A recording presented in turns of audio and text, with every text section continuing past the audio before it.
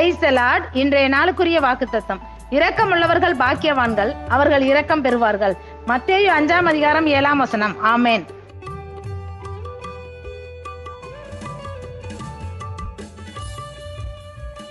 ఈ రోజు దేవుని వాక్యము కనికరము గలవారు ధన్యులు వారు కనికరము పొందుదురు మత్తయి సువార్త ఐదో అధ్యాయము ఏడో వచనము ఆమెన్